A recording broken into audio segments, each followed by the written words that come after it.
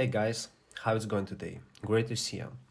In this short video, we're gonna talk about how to transfer money from Emerald card to PayPal.